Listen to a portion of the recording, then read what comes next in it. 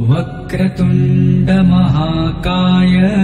सूर्यकोटी समप्रभ निर्विघ्नम् कुर्मे देव सर्वकार्येषु सर्वदा।